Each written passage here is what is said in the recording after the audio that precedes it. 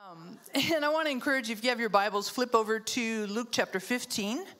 Um, we're talking about party and celebration and having a party, right? That's why we played the song, Celebrate Good Times, because we're talking about a party. How many of you like to party?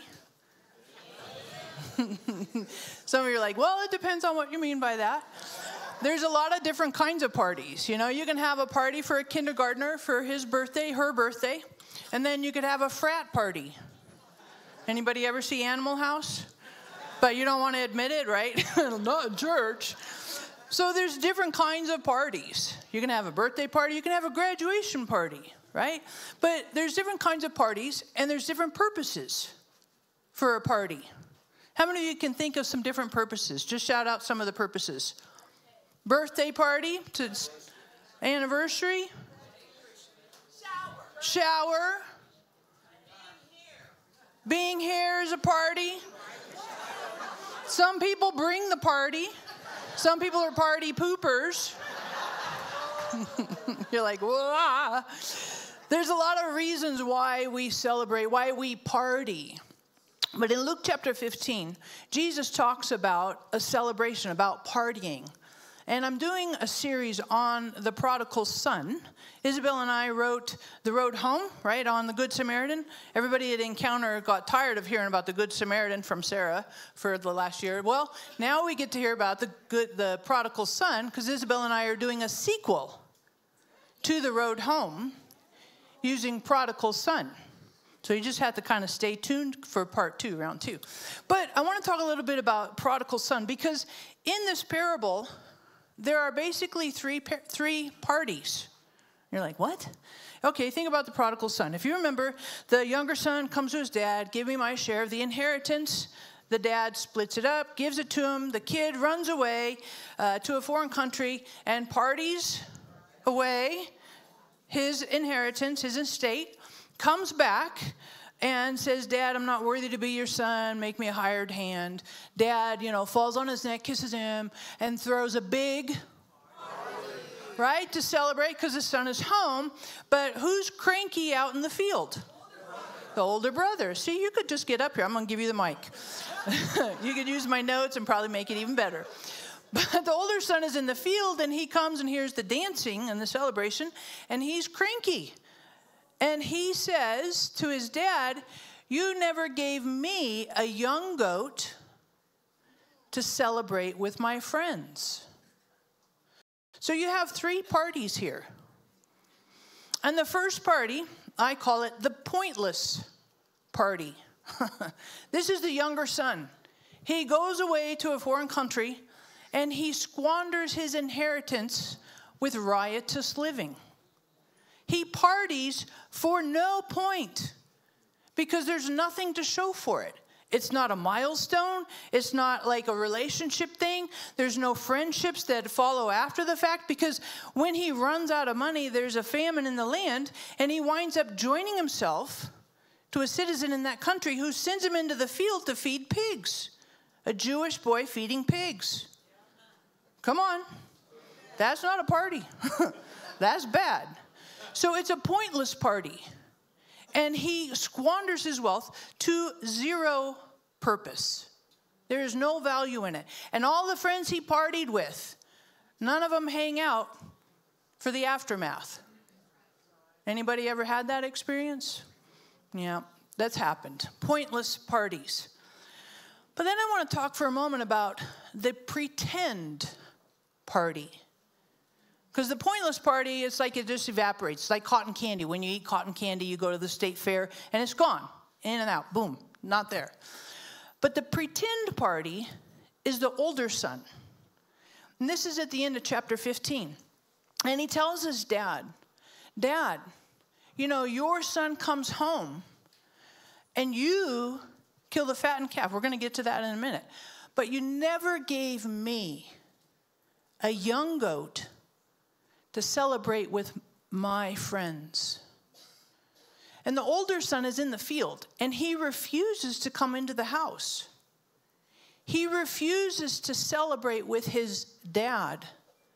He refuses to embrace his father's values and celebrate the return of his brother.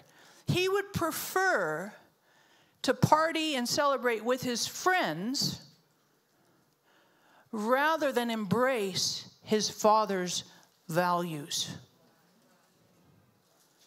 That's the decision he's making. And it's interesting because he is the older son. And in this history, in this culture tradition, the oldest son was supposed to reflect and be the father's right hand man.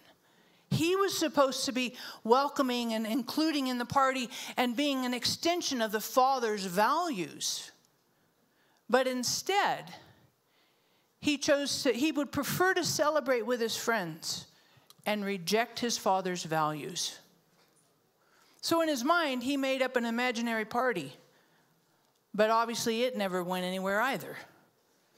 So let's talk about the purposeful party. And I think this is the best part of the whole story.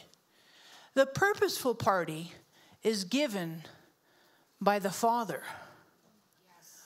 And if you remember what happens, the younger son, he comes to his senses in the middle of pig slop, and he says, You know, at home, all of the hirelings have enough bread to eat, and I'm out here dying from starvation.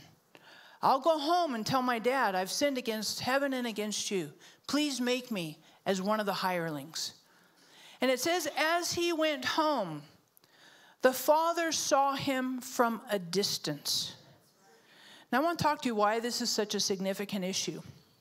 At this time in this culture, if a son said to his father, Give me my inheritance, the father wasn't dead. This is as if the son would say to the father, I wish you were dead because I want your money more than I want you.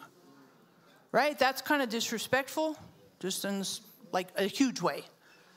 And it wasn't only hurtful to the father, but if the community and the village where this kid lived heard about what this kid did, the whole village and community would ostracize this kid because he had been disrespectful. In fact, you know, Jewish law says if you dishonor your father your mother, you should be stoned, right? You should be killed. And so, in this community, when this kid disrespected his dad, it wasn't just a slight against his dad. The whole village was like, You are anathema to us. We hate your guts. You're not welcome. If you come back around, you're not only going to get the cold shoulder, we're going to reject and exclude you because you are no longer welcome. That's how serious this was. So the fact that the kid comes to his senses and he's going to risk, he feels guilty, he feels shame, he's not accepted. He knows, not just against dad, but the whole community is going to push me away, exclude me, be hostile, critical, judgmental, condemning. And rightfully so. So when the kid makes his way home, the father sees him from a distance and the first reaction is not, ugh, but it says he has compassion. And it says he runs to him. The kid doesn't even have to get close to the village or the community. The father bridges the gap. And the father runs, despite what the community or village would ever do, the father steps in to reconcile the kid before he ever gets a chance to be rec- uh, rejected and exiled, excluded from the community. The father stepped in and said, I love you. The father runs to him, falls on his neck, and kisses him. Well, that in and of itself is worth a party. Are you kidding me? Are you kidding me? Outrageous. And the son starts in, Father, I've sinned against heaven and against you. I'm no longer worthy to be called your son. The father interrupts him. Stop there. And he tells the servants. So, first of all, you need to see there's reconciliation from the father, one to one, with his son, who doesn't deserve it. If anything, he should have lost it altogether. So the father reconciles individually. But then the father says, put a ring on his finger, shoes on his feet, and a robe around him. And he tells it to the servants Because the servants also play a part in the reconciliation. If the father goes out and does this, he's setting the tone and the tenor for everybody in the household. And he tells the servants, we're in a place and position to reconcile, not judge, not criticize, not exclude, not reject, not repel. We are going to, as a household, welcome this kid, my son. So there, we have the pretend party, and we have the pointless party, and now we have the very purposeful party. Because not only does he put a, shoes on his hands, ring on his finger, robe on him, but then he says, kill the fattened calf. All right, this is not like, you know, you kind of cut the chicken's head off and wring the chicken and you defeather it and, you know, you like have dry grilled chicken breasts. That's not what we're doing here. This is the fattened calf. So if you've ever been around livestock and cattle, which I have not, so it's just speculative and kind of educational, you know, in a book right now for me. But my understanding is when you have a calf and you fatten up that calf, it takes time and investment. You're going to feed that calf, you're going to nurture that calf. And when you think about it, it's an investment of time, wealth, and attention and energy to make that baby super fat. And you, I don't know about you, but if you have fat on meat, it is very flavorful. That's why chicken breasts are dry, no fat, in case you wondered. So if you have a ribeye, a ribeye steak, marbled with fat. Yes and amen. I got a yeah from. So hello, hello. And Mike, we're like, woo, bring it. You know, you can cook a ribeye to medium and it's still fantastic. Like I like my, anyways, that's a rabbit trail. So. not necessary, not helpful. But the fattened calf is like one of the premier, if not the best livestock that they have uh, nurtured and developed and, and invested in. And we're going to sell. And here's the other piece of it. At this time in history, no chest freezers, right? No refrigerators, no ice blocks. So once you kill it, you better cook it and eat it because otherwise it's going to rot. So, how are they going to eat this giant piece of meat? Lots of meat. You're going to feed the village. You're going to feed the community. You're going to throw a party. You're going to celebrate. You're going to invite all the people who are going to exclude your son, condemn and judge and be hostile and critical and repel him. You're going to invite all those people for a massive celebration with endless ribeye steaks cooked very, very well to celebrate. And they're dancing and they're having a party and there's music everywhere, there's food everywhere. Oh my goodness, this is a purposeful party. The Father's saying, Welcome home. And I'm not only saying it for you and me as an individual, I'm saying it for the household, and now I'm saying it for the entire community that naturally would repel and reject and condemn and judge you.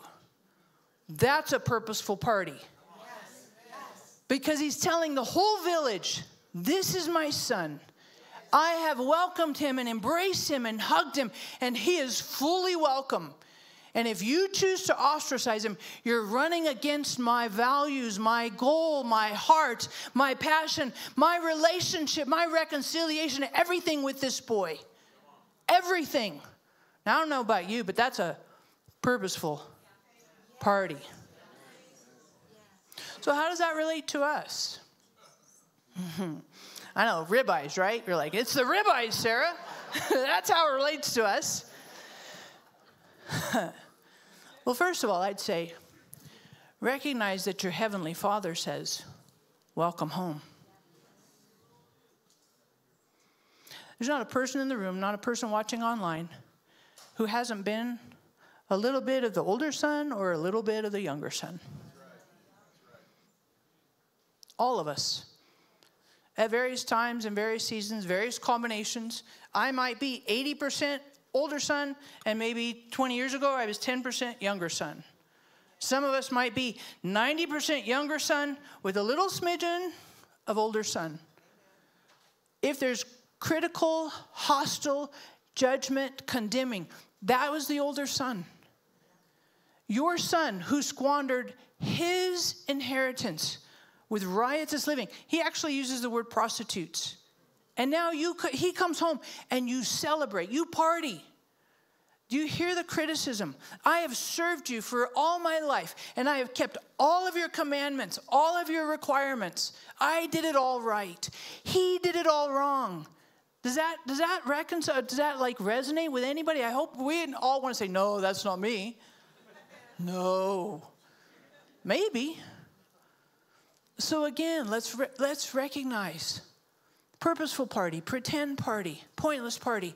The Father celebrates and throws a purposeful party and wants us all to celebrate. The person on your right, the person on your left, the person that doesn't look like you, the person that is less than, more than, weird, tattoos everywhere, no tattoos, a suit and buttoned up, the person who doesn't have buttoned up is ripped jeans. Come on, family. Really?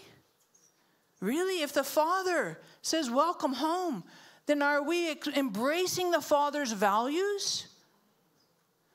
Or are we choosing to be the hostile villagers that would reject and repel and exclude? The Father says, Welcome home. So, number one, recognize that your Heavenly Father celebrates you. I mean, there's a good reason why we said, celebrate good times, come home, right? I mean, that's a, you didn't even know. You were like pre celebrating, right? You're just planning, practicing for the real one. But number two, let's remind ourselves that we are God's son, God's daughter.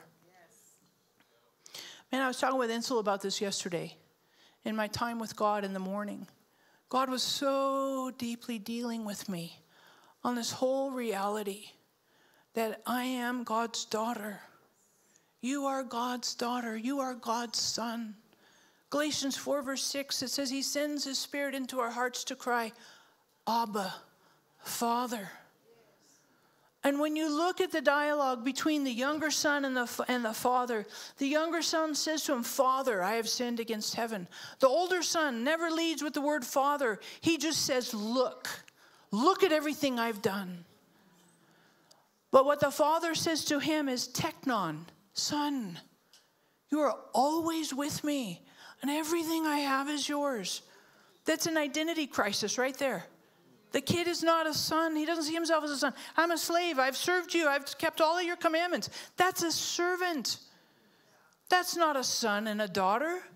That's from the outside looking in, wishing you were a part of it, and an orphan thinking, oh, I, I'm cold out here in the snow and I don't belong. And the son and the father saying, You belong. Change your thinking. Adjust it. Let Holy Spirit, Romans 8 16, bear witness with your spirit that you are God's son, you are God's daughter. Let that deep work of the Holy Spirit in your soul take, intrude, and integrate and change, transform your thinking. I belong. I don't have to earn it. I didn't lose it. If I didn't earn it, then I can't lose it because it's already given from who the Father is. It's the Father. That's why we can celebrate. The Jews call this parable the chasing father. so much better than the prodigal son. I like chasing father way better than prodigal son. Emphasis is on the father and not what the kids did or didn't do.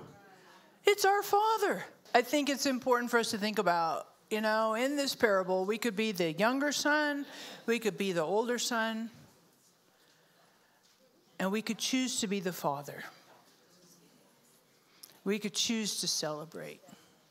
We could choose to let the Father's values, the Father's love, the Father's heart flow through us. We could choose that. And that's what I would pray for you, because that, my friends, is the purposeful party. So, as you finish today, this is just to answer on your own the very bottom question Describe a time in your life when you felt like God celebrated you. That's on your own. It's on the back. You can fill it out there, plenty of space. But I think it's a really important, important thing for us to think about Because God does celebrate you. Our Father celebrates you as His son, as His daughter, in whom He is well pleased. So I'd like you to put your hand on your heart. I'm going to close in prayer. And Father, I just thank you. I thank you for celebrating us. I thank you for your extravagant love. Goes way beyond anything we could ever even wrap our head around. I pray, Holy Spirit, Romans 5, verse 5, that you would pour the love of the Father into our hearts. Pray, Romans 8, 16, that you would bear witness with our spirit that we're your son, we're your daughter. I pray, Galatians 4, verse 6, that we sense you, Holy Spirit, in our hearts crying, Abba, Father. Father, I pray for each of us in the room, each of us watching online, that we would be carriers of your values, of your love, of your heart that we would reconcile, be reconciled with you, and reconcile the people around us to you because of your love and your pleasure in us. Thank you, God, for your generosity and your love, faithfulness and consistency in our lives. In Jesus' name, amen.